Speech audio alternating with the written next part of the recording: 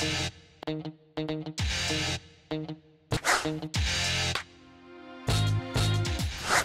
I'm Jason Wilk, and in this video, we'll be installing a 90174Y YOUCAN maintenance tune-up kit here on the CS490 chainsaw. Before we get started, we want to make sure we have safety glasses, a piece of wire bent into the shape of a hook so we can go ahead and pull the fuel filter out of the fuel tank, a 19 millimeter spark plug wrench, and the 90174Y YOUCAN maintenance tune-up kit. First thing we want to do is go ahead and make sure the ignition switch is in the stop position. And then also for safety, we want to make sure the chain brake is pushed forward or in the on position.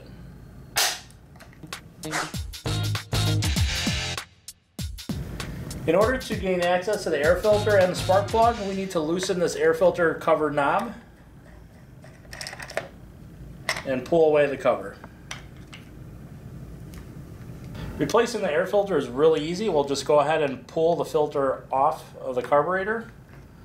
Take the new filter from the kit and go ahead and just push it back onto the carburetor. Next we'll replace the spark plug. First thing we need to do is go ahead and pull the spark plug boot off the top of the spark plug. And then using our 19 millimeter spark plug wrench, we'll go ahead and loosen the spark plug in a counterclockwise direction. Once it's loose, we can use our fingers to unthread from the engine.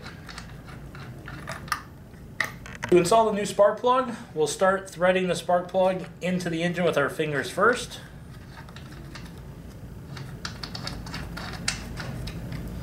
And then we'll come back with our 19 millimeter spark plug wrench and we'll tighten in a clockwise direction. Once the spark plug is tight into the engine, we'll go ahead and push back on our spark plug boot.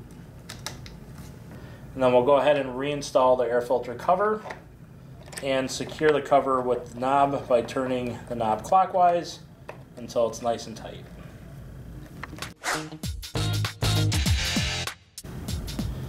To gain access to the fuel filter, we just went ahead and tip the saw on its side. We'll loosen the gas cap, pull the gas cap with the tether out of the tank. We'll take our fuel line hook here, reach into the tank, grab a hold of our fuel line, and then note there is a fuel line clamp at the end of this fuel line. We want to make sure we go ahead and reinstall that with the new filter.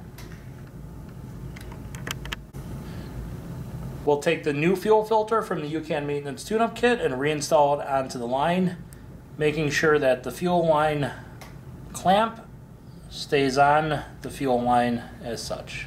Once the new fuel filter is in place, we'll just go ahead and push it back into the fuel tank and then reinstall our fuel cap.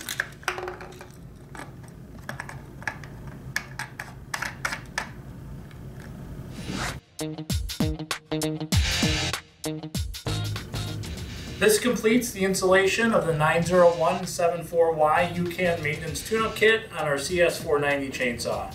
Thanks for watching and be sure to check back for additional videos.